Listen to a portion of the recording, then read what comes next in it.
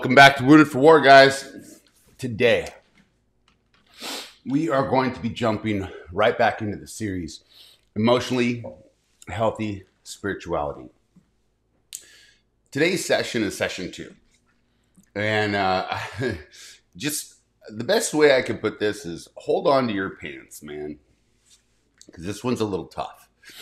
The, the subject is uh, know yourself that you may know God. The idea is we're going to look through 1 Samuel chapter 17 verses 26 through 45 and what it's going to do it's going to help us to understand that we have to to know God we have to allow our true self uh, to be known in a way that we understand ourselves. You see most of our life we put on um, expectations of others or a false sense of identity based on what someone said about us. And in this uh, account with David, King David, and and uh, and him dealing with the battle against Goliath, you probably have heard the story of David and Goliath. In that story, we're going to find how David's identity has been rooted in God and not in himself. And that will be the very recipe for his victory. But before we dive in, I want you to see uh, Pete Scazzero, who put together this course. I want you to have his uh, summary of, of what we're about to dive into. And then I'll jump in with the study and we'll, uh, we'll go through it uh, verse by verse. Check out the video.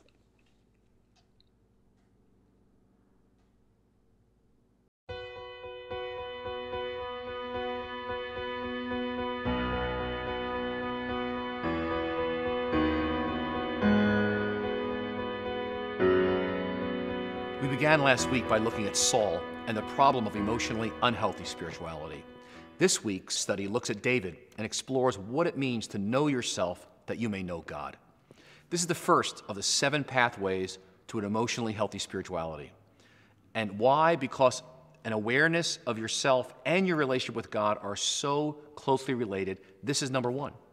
So, pretending to be someone we're not is so big in our culture, we rarely think twice about it. Politicians do it, Business leaders do it to generate profits and attract investors. Magazine editors airbrush photos to make their models look perfect and more beautiful than they actually are. It's just easy to pretend to be something on the outside that we're not on the inside. And students do it in schools. They wear other people's faces to fit in with friends and teachers, and workers wear masks to impress their bosses, and young adults do it to impress you know, girlfriends and boyfriends. And sadly, even in church sometimes, we, we put, on a, we put on a mask so certain people will like us or think of us in a certain way that we're holier than we really are. So all cultures have this. They pretend to be something that we're not to a greater or lesser extent. But in the church of Jesus Christ, God invites us to be our unique selves before Him, to know who we are, not pretend to be somebody else. Now, we're actually called to be an alternative community, to be a sign to the world. Jesus has made possible a way of life that's unlike anything the world's ever seen. We bear witness to this power of God by living authentically and with integrity out of our true selves. So, in fact, the challenge to shed our false self in order to authentically live in our new true self in Christ, this strikes at the very core of true spirituality. Augustine wrote this in his Confessions How can you draw close to God when you're far from your own self? John Calvin wrote in the 1500s Our wisdom consists almost entirely of two parts knowledge of God and of ourself. But these are connected together by many ties, and it's not easy to even determine which of the two comes first and gives birth to the other. The vast majority of us go to our graves without knowing who we are. Without being fully aware of it, we live someone else's life, or at least someone else's expectations of us. And as a result, we end up doing violence to ourselves, violence to our relationship with God, and ultimately to other people. I know in my early years, the big focus uh, was no God.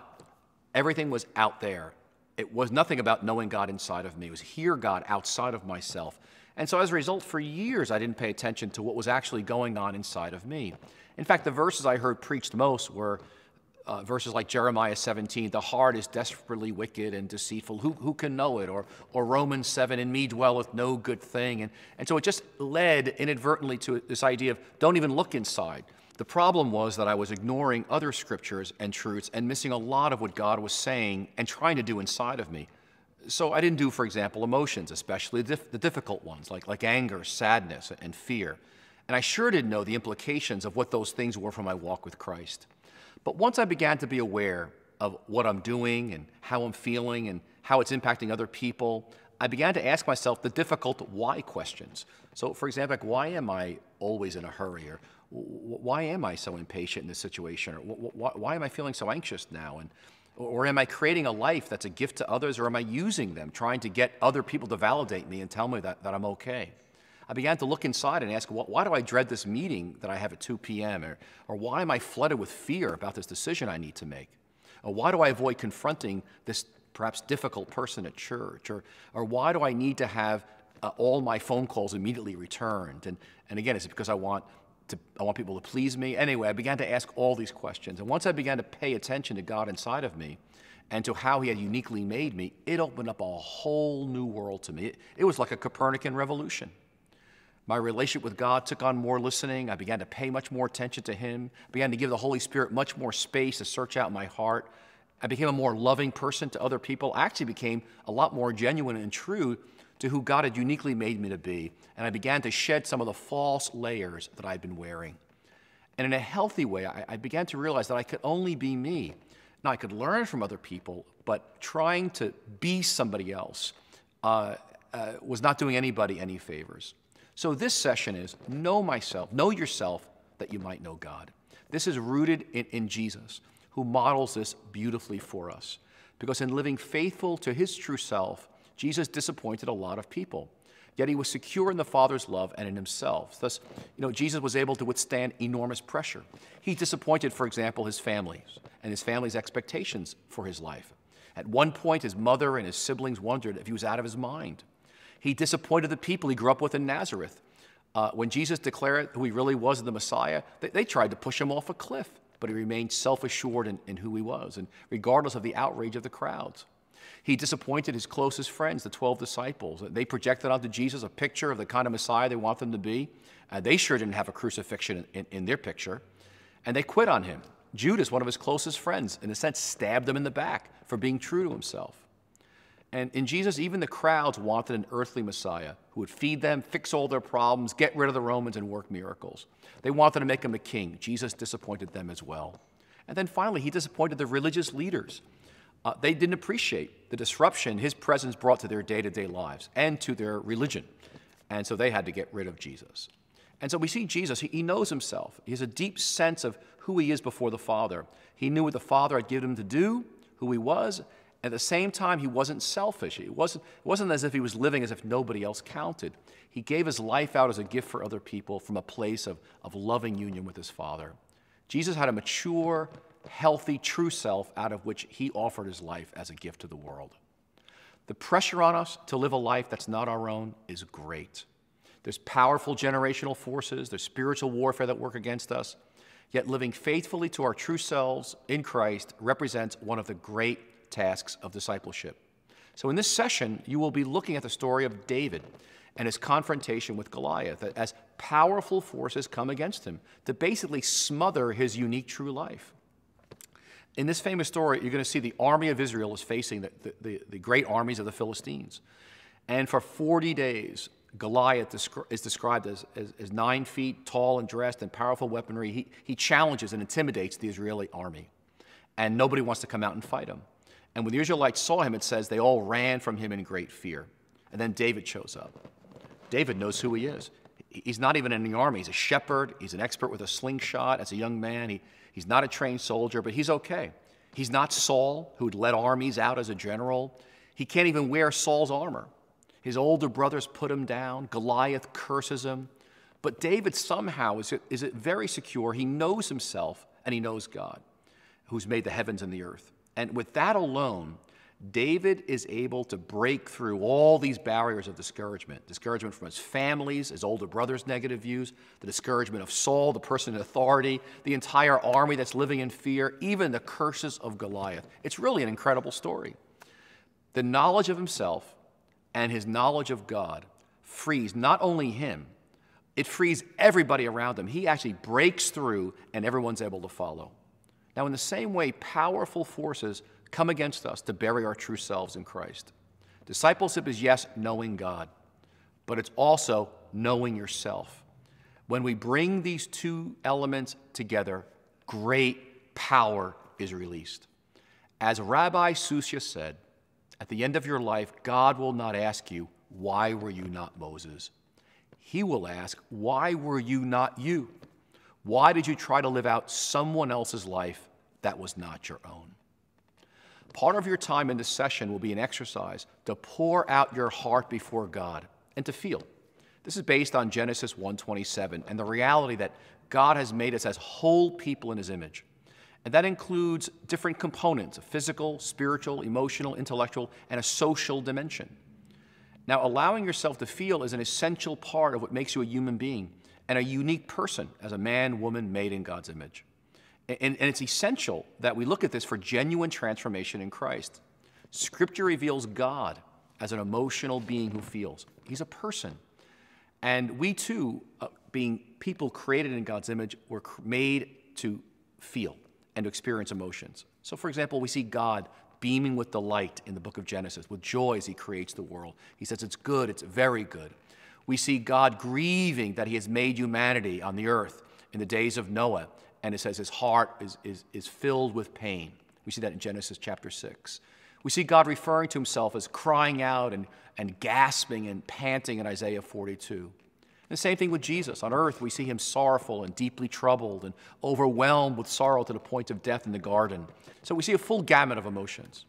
So take a few minutes and reflect on the implications of the fact that God feels. You're made in his image. God thinks, you think. God feels, you feel. You're a human being made in his likeness. And part of that likeness is to feel. So if we're going to do God's will, it requires, okay, first, a complete commitment to do his will uh, we follow scripture, we seek wise counsel. But in addition, spiritual formation involves experiencing our feelings. Then we reflect on them, and then we thoughtfully respond to them under the lordship of Jesus. We acknowledge them as a part of the way God communicates to us. Not the only way, but it's an essential part. So, getting to know yourself that you may know God is the discipleship work of a lifetime.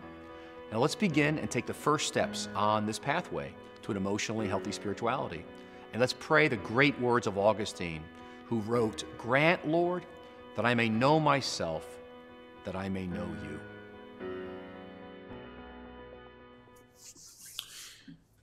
All right, so before we get started on this study, I think it's super important because we are going to be examining uh, David's life, but also introspectively looking at our own. Um, we want to remind ourselves before we get started, as Pete said, um, in another session is that uh, some of these things can be hard. And so I found out that this week in preparation for this. Um, so I want to pray to begin with and just cover us and remind us that our, our identity is now in Christ as we become believers, uh, no longer our, our old nature. So um, there's no shame. And, and that's going to be what uh, wants to creep up. But I want to want to uh, just make sure that we're covered in prayer in that area. So, Father, we come before you. And Lord, I humbly ask that you would please author my thoughts, author the thoughts of people that are hearing this, Lord. Lord, we give you our time and our and our hearts and our minds, Lord. We, we want you to remind us whose we are and who we are because of that. Lord, we pray that you would strip away garbage that has been placed on us, thoughts that have been infiltrating our minds, our hearts, our lives, and, and bleeding out through what we do. Lord, it's been said that uh, our beliefs inform our actions. and we want to act more like you. So, Lord, shape and change our beliefs about ourselves. Lord, I just pray that I would get out of the way. Lord, I am a uh, a man who is flawed just like anybody else, and I just pray that Lord, your Spirit would use me despite my flaws, that you would use me, Lord, and, and uh, remove anything that's of me, and uh, Lord, that you would pour in your Holy Spirit and speak loudly through uh, this time to each one of us. I pray this in Jesus' name. Amen. So, all right, let's dive in. We're going to start in 1 Samuel chapter 17, verse 26 through 45. So, if you have a Bible or a digital app, open those uh, to 1 Samuel 17, uh, starting in verse 26. And I'll start with reading. Then David spoke to the men who were standing by him, saying, What will be done for the man who kills this Philistine and takes away the reproach from Israel? Who is this uncircumcised Philistine that he should taunt the armies of the living God? Notice that's a statement right off the bat where um, David speaking out of his truest identity, his identity in Christ.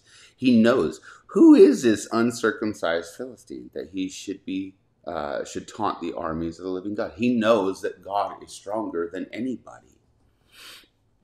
The people answered him in accord with this word, saying, Thus will be done for the man who kills him.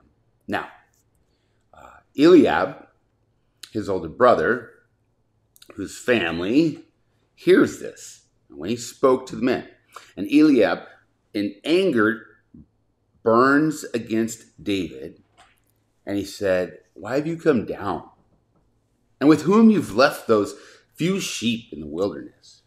I know you're conceited and the wickedness of your heart. You've just come down to see the battle. Now, don't be surprised when the very voice that's speaking pain or hatred or, or, or things into your life that aren't who you really are uh, come from people that are close, near and dear, family, friends. Don't be surprised. That does happen. Though it shouldn't, it does. But notice that there's a response when someone does that. But David said, What have I done now? Was it not just a question? It's like, dude, I didn't even do anything, right? But here's the response. Then he turned away from him to another and said the same thing. And the people answered the same as before. So sometimes, when even the closest people in your life speak negative over you, one lesson we can learn from this right off the bat is you just need to turn away. Like David, he didn't accept what was given to him or was spoken over him. He turned away and went straight on to what his mission was. Sometimes we're going to have to do the same. Turn away from those voices that are being spoken over our life. Now, it goes on in verse 31 and says, When the word of when the words which David spoke were heard, they told them to Saul, and he sent for him. David said to Saul, Let no man's heart fail on account of him. Your servant will go out and fight this Philistine again, he's speaking. David is speaking from his truest nature. Now, understand, this is a young man. He's probably in his age of like 15, 16 years old. He's a young kid. He's so, um, he's so uh, uh, just kind of a sideline guy that literally um, his family kind of just said, hey, go off and uh, just tend the sheep, man. And by the way, uh, being a shepherd back then was one of the lowest of lows jobs, right? And, and he's just cast off. But he knows, David knows, that God has a value for David. And that's why he could say, hey, man, I, all these guys have ran at this point from this Goliath guy, this nine foot giant. You're, our, the whole army of Israel is running and hiding from this guy. David raises his hand, hey, I'll, I'll go fight him. because he knows God is with him. We'll see that in a moment. Then, here's another voice, again, another voice speaking negatively over his life. Then Saul said to David, You're not able to go out and fight this Philistine. You're a youth, and he's been a warrior since his youth. Again, someone speaking something over David's life. He can accept it or he can reject it based on what he believes about himself. Now, here's where we get the foundation for why David acts the way he does. It comes from his belief, and here's where his belief started. In verse 34, it says, But David said to Saul, Your servant was tending his father's sheep, speaking about himself. When a lion or a bear came, I took the lamb from the flock. Or, or, sorry, and when a lion and bear came and took a lamb from the flock, I went out after him and attacked him. I rescued it from his mouth. And when he rose up against me, I seized him by his beard, struck him, and killed him. Your servant has killed both lion and bear. And this uncircumcised Philistine will be like one of them, since he has taunted the armies of the living God. And now, let's face it, at this point, just from hearing that, I went out and I killed a lion, I killed a bear, and and man, who is this guy? I, have I've I can I've rescued my sheep. I, I got this is kind of what we hear right now. And and almost you would feel like Eliab's right in what he says. Why? Because he sounds like an arrogant little turd. And that kind of sounds like Eliab's right. But his next words are key for the whole matter. He says, And David said, The Lord who delivered me from the paws of the lion and from the paws of the bear, he will deliver me. That's not arrogance, that's humility. You see, he spoke boldly up front. Dude, I'll take on the world because I've been delivered by my Father in heaven before. And he has delivered me from a lion and a bear, something that no human should be able to go against. I got to be real with you. We live in a region where there's mountain lions. If one walks up to the front door I'm not walking outside. David's the kind of guy that says, But the Lord's with me, and I've already killed one before I can kill anything if God's with me. He will deliver me from the hand of this Philistine. and Saul said to David, Go, and may the Lord be with you. How do you argue with a guy who said that I've done the miraculous because God's been with me? He's, hey, I, I guess go do it again, right? Then Saul clothed David with his garments and put a bronze helmet on his head. And he clothed him with armor. David girded his sword over his armor, tried to walk, for he had not tested them. So David said to Saul, I cannot go with these, for I have not tested them. And David took off these uh, pieces of armor what's happening here is Saul saying, hey, if nothing else, I could give you at least what God has given me. And I have authority and I have this armor that's been made for me to go out to battle with the battles that I battle. And it's worked for me. It's kept me safe and as a king. So I'm going to give it to you. There's only one problem in that whole theory is that as David noticed, this armor was not fit for him, it was not designed for him. It was not tested by him. You see, Saul's trying to help, and people will try and help us, but they're going to try and give us the same armor that God gave them to go through a battle. And the problem is, it wasn't designed for you. Each of our battles are, are uniquely designed for us. Our battles are designed for us because God wants to build our character. And if that's the case, then He's going to fit us with unique armor for our own battle. So, David took off the armor that looked very flashy, looked like it was built, you know, a Sherman tank, right? He's walking it, but the thing is, it wasn't fit for him. He knew nothing about It's like sending a kid into war with a gun and he's never shot one. He's not going to do well. So he took it off. Don't try and go after um, your battles with other people's armor. What armor are you taking on? What armor are you putting on? What armor do you need to put off that wasn't designed for you for these battles?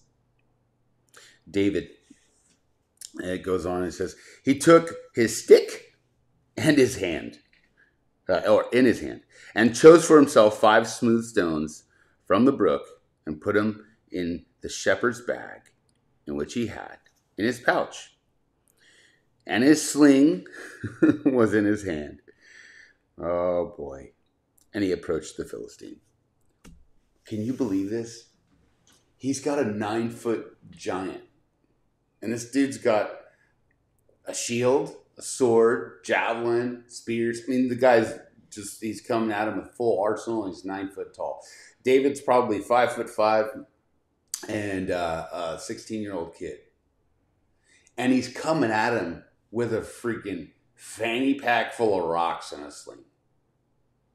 That's insane. But the Philistine came out and approached David with his shield bearer in front of him.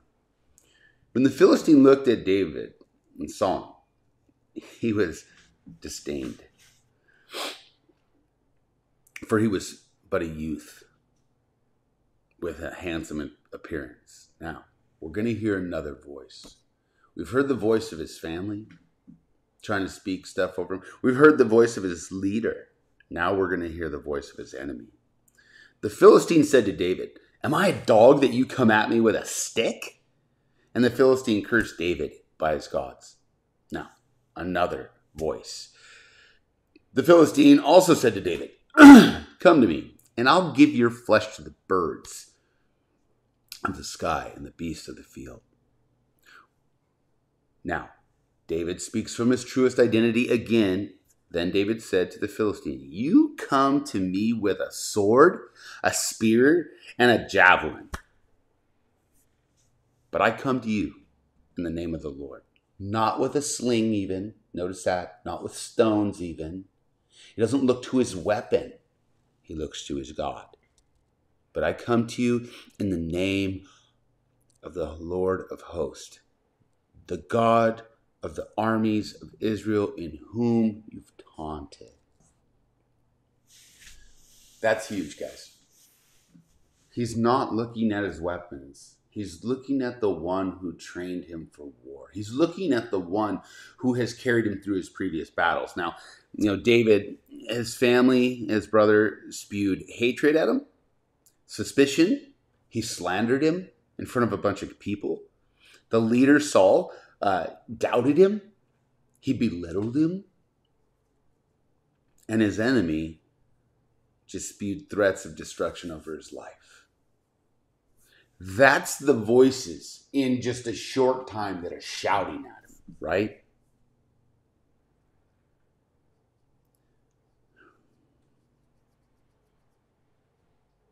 What got him through all that? What got him through without giving up? God shaped David's life when he was a nobody and he was nowhere. He was just a boy. He was out in the in the fields in an obscure life where nobody cared about him and he felt probably as no one uh, did care about him he, he was all alone with sheep he felt lonely. He felt hurt. He felt bro- broken. He felt discarded, kicked to the curb. But that's the very place that God met him, showed him his true worth and what he was truly capable of. He gave him opportunity in that wilderness out there to go kill a lion and kill a bear and know that God would be on his side. That those marks of identity, those big moments of God doing something radical for him, shaped him to where in the future of his life, as he came at this circumstance, he had the right tools, the right confidence, because he knew with an intimate knowledge, with a experiential knowledge. He knew God would take care of him.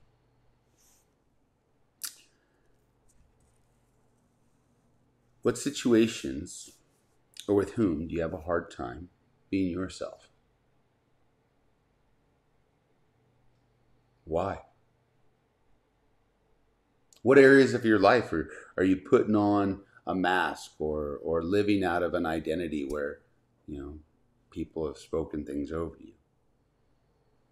What feelings come up when you're in these situations in life, these battles? And why? Why do they come up? It's because of what you've accepted or what people have told you, right? Something happened along the way and it shaped the identity that's deep within you. What does God say about that area in your life? What does God say about those areas in my life? You know, I want to share, I wanted to share some stories and illustrations from the Bible. Um, but God kept poking at my heart and saying, no, share your personal story. I really didn't want to because you have to dredge up old hurts and past pains. But he wanted me to, and he wanted me to so much that I literally was kind of fighting against it at the last minute last night. And we, my wife and I sat down to watch a movie, and she normally does not watch these types of movies. She says, "Hey, I just want to try something new. Put on a movie." And it happened to be um, what's it, some movie about a dog and two orphans, and and uh, I forget what it is, but basically, the story goes: these orphans, um, this girl, the older sister of the two, feels a responsibility to care for her family, this dog and, and her younger brother but she's living a life in a new place in a new school with new people. And and when she's asked questions about her identity because she doesn't have parents because she doesn't have uh, her past is riddled with pain and brokenness well she tries to shape an identity that's different she lies. Tells them oh well my parents are great and they're off in europe and they're doing mm-hmm. this and that's you know, she's making up excuses because she hates her life. She feels no one will love her. Well that was the moment where i knew god was making it absolutely clear that he wanted me to share my story. My mom dropped me off when I was two years old on a doorstep at a neighbor's house. Um, she had had drama in her own life. She was given bad tools, and so what happened when she dropped us off at a doorstep? Me and my brothers and went to commit suicide. Thankfully, she was not successful, but that started a downhill spiral. First off, that's the very first memory that I have in my life ever, and I clearly watched her drive off in an ambulance. I remember the image of her laying on the bed with pills in her hand and the ambulance driving off. That's first marker or voice in my head. And that voice said, You weren't worth loving. You see, she was actually dealing with a lot of pain and hurt, and that was just all she could hear. It wasn't that she didn't love us. But that's what I heard and took away from it. And then, you know, I end up with my father, and uh, my dad had been physically abused, and that's all he knew in life how to deal with kids that were unruly. So he was physically abusive. So much so that we ended up um, in group homes and foster care, like this young girl. He didn't. Um, he didn't not love us. It's just these were the tools that people, my parents, were given. They were given the wrong tools. And so the wrong outcome came about. And the repercussions were that I came out of my very childhood feeling, well, with an identity of feeling worthless and unloved. And because of that, uh, I needed, I felt, to make up reasons why I was worthy and unlovable myself, or lovable myself. So I lied all the time about who I was, what I had, uh, to people in high school and a few years after, I basically became a liar because I hated my reality. And I tried to change it, change my identity, anything I could within what I had. I didn't have anything.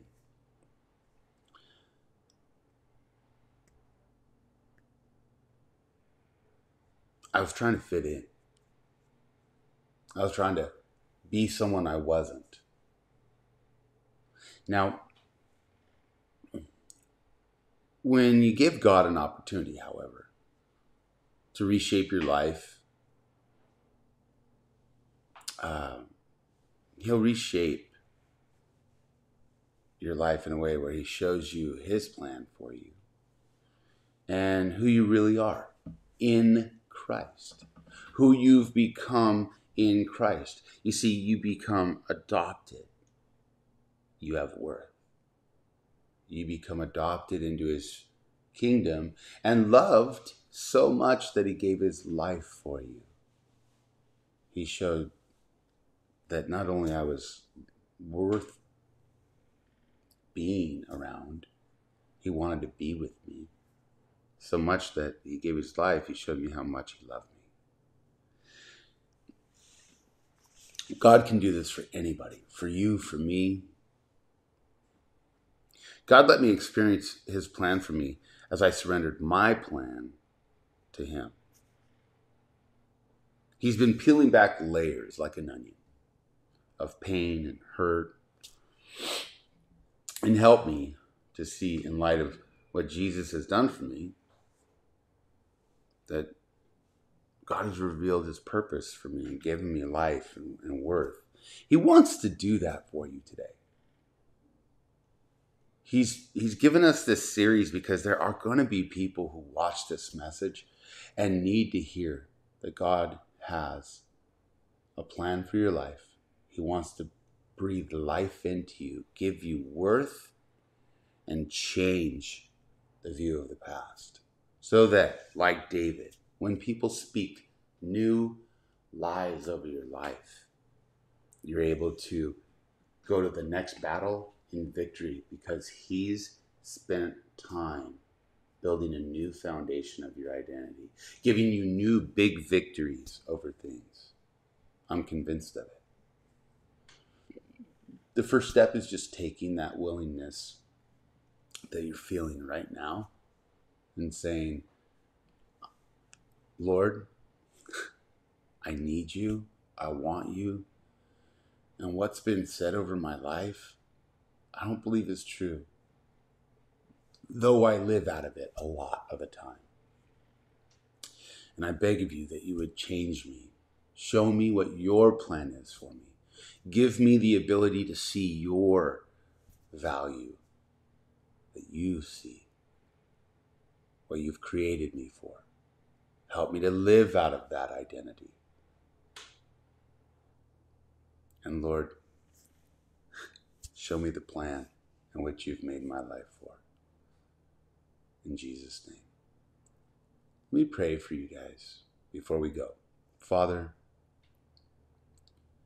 I beg of you that whoever's hearing this message right now, Lord, that you would not let them remain. In what? People have spoke over their lives. What they've accepted, Lord, because it just got pounded into them. Lord, I pray that the pain and the hurts, Lord, that you would do what only you can do.